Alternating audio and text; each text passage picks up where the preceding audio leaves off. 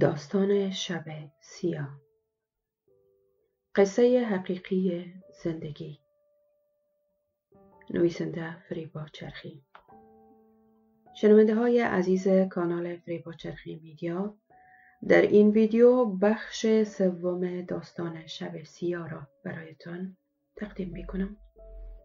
قبل از اینکه داستان را آغاز کنم فراموش نکنید که کانال فریبا چرخی Media را subscribe کنید و همچنان اگر خواستید داستانی را برای خوانش با من شریک کنید از طریق فیسبوک و انستگرام فریبا چرخی Media و یا ایمیل آدرس fcmedia@gmail.com با من به تماس شوید. آغاز داستان شب سیاه قسمت سوم شوهرم بعد از طلاق قبول نمی کرد که طفل چهارمیم که دختر بود از او باشد. در حالی که در جریان مراحل طلاق من از وی حامله بودم. بدین منظور برای اثبات این امر بعد از سن چهار سالگی دخترم را مورد آزمایش دی این ای قرار داده و مطمئن شد که دختر مشترک ماست که این عمل وی می تواند بزرگ ترین توهین و یک زن باشد. من بعد از این همه توهین و تحقیر دوری از خانه و پسرانم که شوهرم سرپرستیشان را به عهده گرفته بود صرف این دختر آخری را با خود داشتم و روزهای شنبه و یکشنبه دخترم را نیز پدرش با خود می برد. آن هم بعد از چهار سال که مطمئن شد دختر مشترک ما است. بعد از این همه سال دوباره با مادر و برادرانم که یکیشان تازه عروسی کرده بود و دومی در جریان نامزد شدن بود یک جا زندگی می کردیم. طرز نگاه ها و کنایه های خانم برادرم اذیتم می کرد. گویا خواهر طلاق شده همراه طفلش چرا با آنها زندگی می کند؟ البته خانم برادرم این را فراموش کرده است که حالان که در شار تورنتوی کانادا زندگی می کنند با تحمل کردن عالم از مشکلات و بدبختی های من این شانس بزرگ برایشان میسر شده است. البته زخم زبانش اذیتم می کرد. خلاصه این که پنج سال در همین وضعیت زندگی کردم. همان بود که مادرم تصمیم گرفت که برادرم را با دختری در پاکستان نامزد کنند و ما هم برای مراسم نامزدی به پاکستان و بعد برای مدت به افغانستان برویم. قبل از رفتن دخترم را نزد پدرش فرستادم. در یکی از هتل‌های کابل محفل شیرینیخوری برگزار شد. نزدیکان خانواده ما و همکاران سابقه مادرم همه در آن شرکت کردند. در این میان یکی از همکارها و دوستان سابقه مادرم که از ولایت میدان وردک بودند و از ملیت پشتون نیز در محفل شرکت کرده بود. مرا آنجا دید و از جریان زندگیم از طریق مادرم آگاه شد. پسر خواهرخوانده مادرم که تقریبا همسن و سال خودم بود و در حین حال انجینیر ساختمانی در یکی از شرکت ها بود از طرز نگاه ها و حرفهایش فهمیدم که منظور دارد. بعد از رفتنشان به مادرم زنگ زد و برایش گفت که ما می خواهیم به خواستگاری دخترت بیاییم. با مادرم در جریان صحبتهایش می گفت که باید از خودش بپرسم. بعد شما را در جریان می همان بود که بعد از ختم صحبت تلفنی مادرم با دوستش من و خاله هم اردو از مادر پرسیدیم که خیریت باشد حرفهایتان معنیدار به نظر می رسید.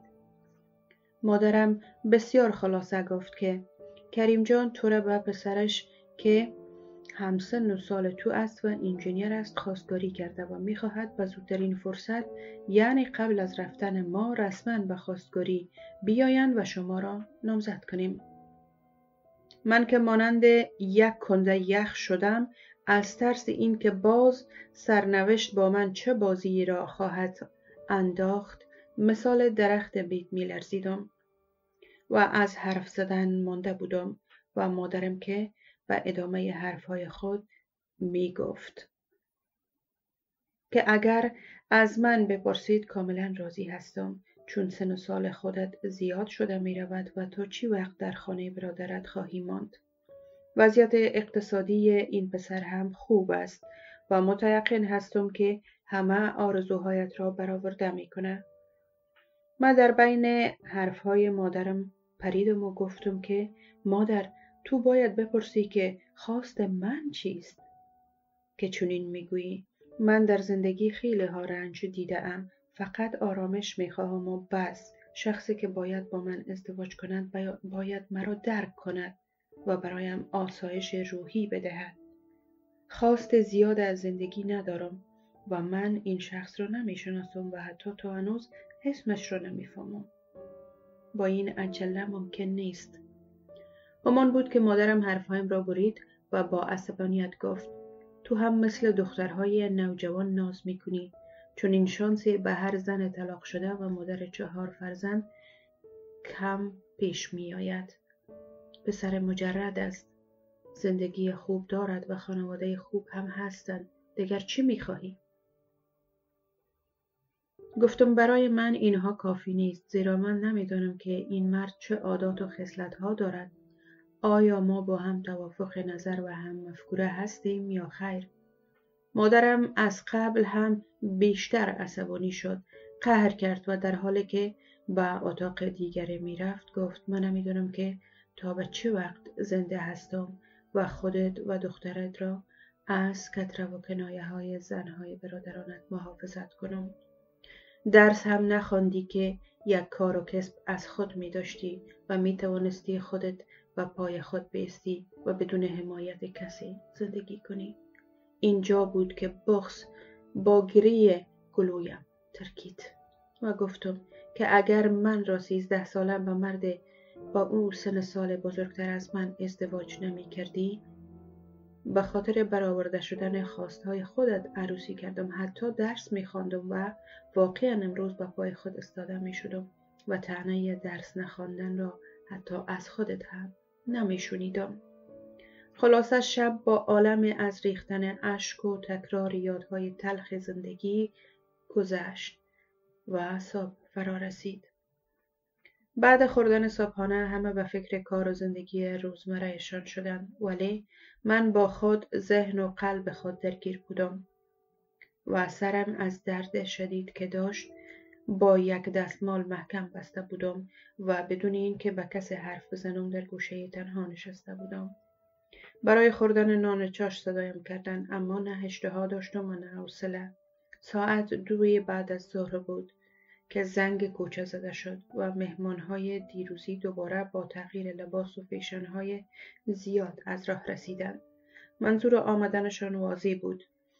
در این تصمیم مادرم خالهام نیز راضی بودند. اما خالهام تاکید داشت که از آنها شناخت کافی نداریم. سالهاست مادر این پسر همکارت بود و این تصمیم عجولانه است. اما مادرم مثل این که فقط یک بار اجباری را از سر راه خود بردارد به حرفش همچنان تاکید داشت و امر نه می کرد که دستمال را از سر باز کنم و کمی به سر وضع خود رسیده و به حضور مهمانان بیایم در غیر آن بینزاکتی تلقی می شود. خاله هم نیز گفت که بله دخترم این کار را با خودت نکن. کار زور نیست. هر کس خواستگار می شود. و این معنا نیست که حتما باید با این مرد نامزد شوی. برو نزد مهمانان در غیر آن زشت است. من هم ناگزیر چنان کردم. رفتم مادرم چنان وانمود می کرد که گویا خواستگار نه بلکه خسران من آمده است. اصابم آرام آرام خراب می شد بعد از قصه های گرم و شیرین مادرم با مهمانانش آنها قصد رفتن داشتند. من از دهلیز خداحافظی کرده داخل یکی از اتاقها شدم. ولی مادرم و خالهام تا دروازه خانه مهمانان را همراهی کردند. شب مادرم دوباره نزد من آمد و با حرفهای عاطفی چون دخترم زندگی را سخت نگیر. این جوانی تا ابد پایدار نمیماند و تنها زندگی کردن دشوار است. خودم تجربه کردم. و من مادرت هستم و به خوبی و آینده خودت فکر می‌کنم. باید زندگی خود را دوباره بسازی. حالا دیگر سیزده ساله نیستی. گرم و سرد دنیا را دیده ای خودت می توانی زندگیت را آنطوری که بخواهی بسازی. در آن ایام من سی و چهار ساله بودم و مادر چهار فرزند که تلخ و شیرین زندگی را تجربه کرده بودم. با شنیدن این همه حرفهای مادرم اصلا نمی توانستم دلم را راضی کنم. یک بار دیگر زندگی را باید از صفر با کسی که اصلا نمی شناسم شروع کنم. فقط به حال خودم هشت می ریختم خلاصه تمام شب گذشت و فردا مادرم به دوستش زنگ زد که امروز به خانه ما بیایید. خودش به خاله ام با خاله ام به بازار رفتند و با خودشان یک سبد شیرینی و چاکلیت گل زده آوردند و مرا با پسر دوستش که فقط یک بار در محفل نامزدی برادرم دیدمش و یک بار دیگر برای چند ساعتی که به خاطر تبریکی با خانواده اش پیش ما آمده بودند نامزد کرد. شخص مطلوب موقعی را از دست نداد. انگشتر نامزدی و مقدار طلا با خودش آورده بود و به همین سادگی نامزد شدیم و رفتند. شب تماس گرفتند که در همین مدت سه هفته ای که شما اینجا هستید محفل نامزدی می‌گیریم و موضوع را رسمی می‌سازیم فردا به خانه شما آمده بعد برای خرید و گرفتن وقت هتل و باقی آمادگی های محفل می رویم. همان بود که در ظرف یک هفته محفل نامزدی خیلی باشان و شوکت برایم گرفته شد و در محفل نامزدی عقد نکانی صورت گرفت و آن هم به خاطر که من بتوانم بعد از رسیدنم به کانادا کارهای رسمی خواستن نامزدم را شروع کنم. خلاصه موضوع نامزدی و عقد نکای ما به سرعت نور انجام شد. و پیش آمد و برخورد نامزدم و خانوادهش در این مدت به حد خوب بود که فکر می کردم مادرم حق به جانب بوده و من به ناحق اینقدر پریشان و ناراحت بودم و ترس داشتم. حالا میله ها گشت و گذارها تحایف قیمتی و به اصطلاح نشان دادن بازارهای سرخ و سبز پای هم به نمایش گذاشته شدند. کم کم به نام زدم علاقه گرفتم و حس کردم که واقعا از او خوشم می آید مرد خوشتیپ و خوشقد و اندام بود. با وصف آنکه خیلی خوش برخورد و خوش صحبت بود دو هفته بعد از نامزدی ما دوباره روانه کشور کانادا شدیم و نامزدم هر روز و شب با من تماس می گرفت حرفهای عاشقانه و درد دلتنگی هایش را با من شریک می ساخت خلاصه این که من را وادار ساخت که هر چیز زودتر دوباره کابل رفته و عروسی کنیم. دو ماه بعد از رفتن در حالی که کارهای رفتن نامزدم نیز در جریان بود برگشتم به کابل و عروسی صورت گرفت. محفل آنقدر زیبا و قشنگ برگزار شد که مثل رویا میماند. پنج هفته با شوهرم در کابل با هم بودیم. البته خیلی عاشقانه و هر روز به شوهرم وابسته تر از قبل می شدم و به تصور این که هر آنچه بدبختی که در گذشته داشتم حالا با داشتن این مرد خوب که چنین عاشقانه برخورد می کند جبران می شود. وقتی دوباره برگشتم به کانادا با زودترین فرصت حس کردم که حامله هستم. این خبر را به شوهرم و خانواده شریک ساختم که خیلی خوشحال شدند. یکی از شرایط آمدن شوهرم داشتن کار بود که با آن منظور برای خودم کار پیدا کردم. خانه گرفتم تا به دولت کانادا نشان دهم که خودکفا هستم. تا به زودترین فرصت ممکن شوهرم نزدم بیاید. خلاصه یک فرصتی کوتاه که پیدا می کردم خودم را نزد شوهرم رسانیده و دوباره برمیگشتم. تا اینکه پسرم به دنیا آمد. و هنوز هم شوهرم در کابل بود و روزهای سخت تنهایی را میگذاشتندم با طفل پنج ساله از شوهر قبلی و طفل نوزاد.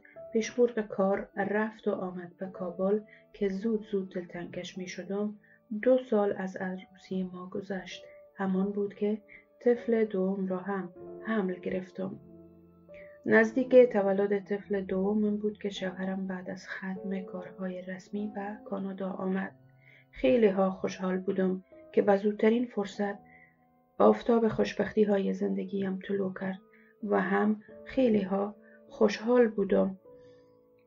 پنج سال تمام را بسیار با سرور و شادمانی سپری کردیم. طفل سهام ما پا به جهان هستی گذاشت. شوهرم نیز مرا در کارهای خانه و محافظت از اطفال کمک می‌کرد. خانه را زیاد زیبا و رویایی ساختیم. شوهرم تصمیم گرفت که با دیده به دیدن خانواده اش به کابل برود و من هم به تصمیمش احترام گذاشتم.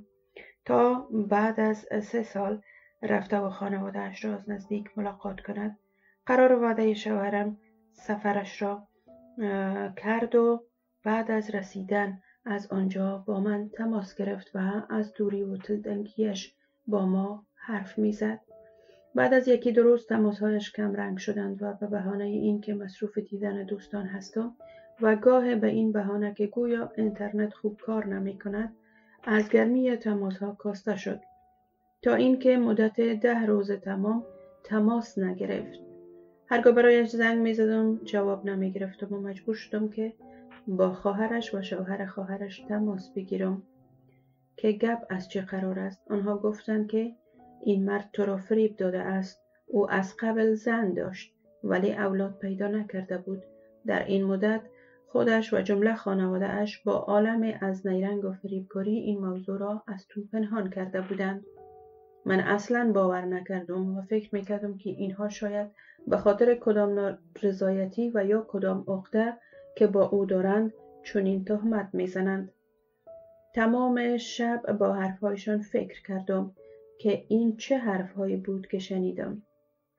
چندین بار با شوهرم تماس گرفتم ولی متاسفانه همه تماسهایم بی پاسخ ماند. خلاصه برایش در پیام جریان را نوشتم و فرستادم که از چنین موضوع با خبر شده ام ولی هرگز قبول نکردم. چون می‌دانم که تو چنین شخصی نیستی و این چنین خیانتی را با من نکرده ای و از این قبیل حرف ها ولی در پاسخ فقط کوتاه نوشت هرچی شنیدی یک حقیقت است. چندین بار سعی کردم که برایت بیان کنم اما نتانستم این پیام مرا از آسمان به زمین انداخت و فکر کردم شوخی می کند. باور نکردم. بعد متوجه شدم که متاسفانه موضوع جدی و حقیقت بوده است. زندگیم طی چند روز کوتاه به همان سرعتی که خوشبخت شده بودم به همان سرعت هم به بدبختی انجامید. دو ماه گذشت و شوهرم اصلا با ما تماس نگرفت. باز هم با خواهرش تماس گرفتم که برادرش کجاست و چرا جواب ما را نمی‌دهد. خواهرش گفت که برادرم بیشتر از یک ماه شده که دوباره به کانادا رفته. گفتم این دیگه چه شوخی است که با من می‌کنی؟ گفت نه چه شوخی؟ از رسیدن خود به مادرم اطمینان داد. من یک بار دیگر حیران شدم که این چه بازی است که با من می شود ماها گذشت و شوهر با من تماس نگرفت در حالی که به گفته فامیلش در کانادا هم بود. به شماره ها ایمیل ها و هر طریقه ممکن تماس گرفتم. جواب نیافتم. مجبور شدم با پسر امهش که برادر زن اولیش هم می‌شد از طریق مسنجر تماس بگیرم و پرسیدم این مرد کجاست؟ آیا می‌داند دلیل این برخوردهایش چیست؟ پسر امهش گفت که بله با من در تماس است. او با یک زن دیگر زندگی می کند و هم گفته است که تو بسیار چاق شده ای و بدین لحاظ نمی‌خواهد که دیگر با تو زندگی کند. تو را فقط برای رسیدن به کانادا نیاز داشت و حرفهای خیلی ها بدتر از این هم گفت. گفتم فقط شماره جدیدش را برایم بدهید تا بتوانم پیدایش کرده و در مورد اولادهای مشترک ما تصمیم بگیریم. اما او مزرد خواست که این کار را به خاطر کرده نمی‌تواند که برایش تاکید کرده که شماره را به تو ندهم. خلاصه سال دوم است که حتی برای یک بار هم به دیدن فرزندانش نیامده است. ناگزیر شدم که اقدام قانونی کنم. دولت پیدایش کرد ولی دوباره در جلسه رسمی حاضر نشد. تا به کدام سرنوشته برسیم؟ کار هفت روز در هفته و مسئولیت های فرزندان کوچک دردهایی که از بابت تشویش ها و استرس سر شده ام حالا مرا تحت تاثیر خود قرار داده است.